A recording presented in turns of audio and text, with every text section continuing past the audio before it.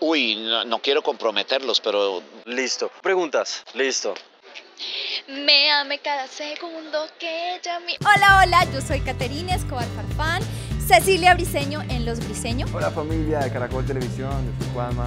Hola, soy César More. Hola, yo soy Camilo Amores, alias YouTube. Hola amigos, les habla Felipe Bernedet, el metacho de los briseños. Ay, me encanta, lo respondo. Eh, tiene mucha chispa eh, y yo sé que les va a encantar y se van a divertir muchísimo.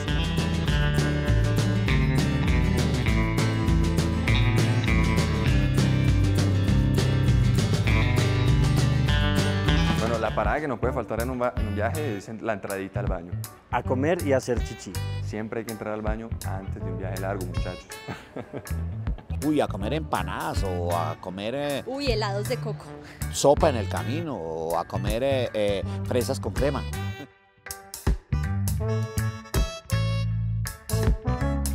Uy, no, no quiero comprometerlos, pero Uy, pues ahí sí no te sabría decir, pero pues yo creo que es un mito que puede ser verdad. Sí, sí, lo- los camioneros son bien encantadores, tienen facilidad al hablar, con las manos. Entonces, bueno, creo que sí. No sé, no soy camionera y no he tenido un amor en cada puerto, pero eso dicen.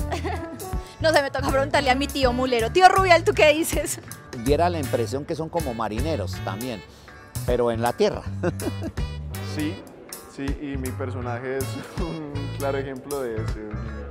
Amor en cada, en cada estación, bien rompecorazones el metacho.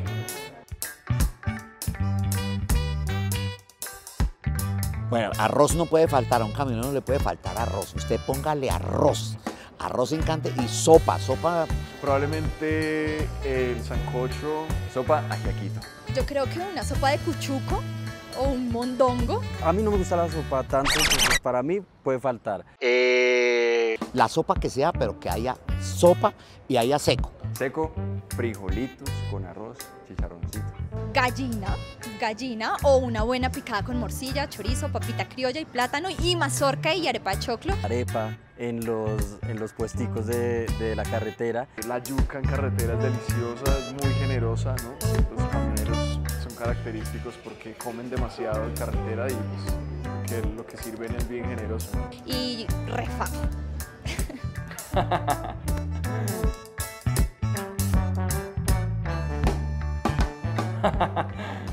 Un tip para evitar el bronceado camionero. El tip, no sacar el brazo por el lado de la, de- de la- de la ventana porque si no le queda el famoso bronceado camionero. Yo me miro. Entonces mejor manejar con los brazos adentro. Yo creo que es inevitable tantas horas en carretera no sacar demasiado el brazo por la ventana. No, si va a usar manga corta, aplíquese bloqueador. Uf, con bloqueador. Y si va a usar esqueletico, pues también aplíquese bloqueador. Polarice los vidrios del carro. Manguita larga. Chao. Eh, no sé, en carretera, en carretera. Yo creo que la esta de Julia, Julia, Julia, Julia de mi amor, yo te quiero mucho, más que a mi camión. La verdad, ahorita que soy mamá, rondas infantiles. Salió el sol, cuerpo bronceado y sus amigos. Eso. Un buen rock. Yo creo que ACDC suena épico para cada escenario en carretera. A César Mora le, te podría contar cinco, una contrabando, es una de Rubén Blades que yo pongo en el camino y me la puedo ir 80 veces de aquí a Girardot, de aquí a Cali. Eh, plantación adentro, eh, Pablo Pueblo, pero puedo poner eh, el periódico de ayer, pero puedo poner a Willy Colón, pero puedo ponerte a Ismael Rivera o a Ismael Miranda, que ahorita está enfermito, pero Dios lo va a sacar de ahí. Bueno, salsa, venteada.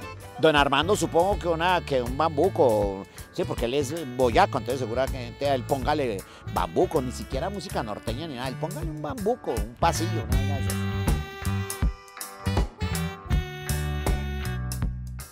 Yo creo que hay que tener, hay, no, hay que no tener sueño. Paciencia, los viajes son muy largos.